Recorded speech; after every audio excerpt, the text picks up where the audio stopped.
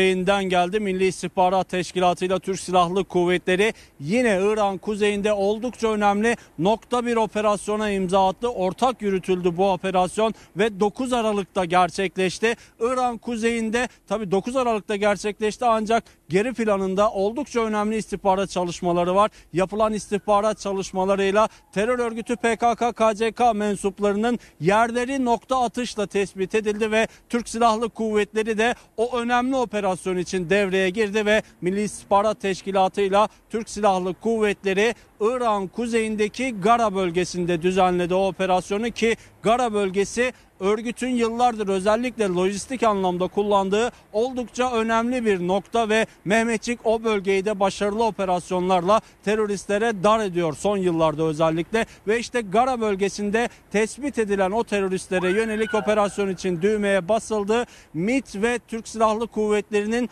ortak yürüttüğü operasyonda İran kuzeyindeki Gara bölgesinde PKK-KCK'lı 9 terörist etkisiz hale getirildi.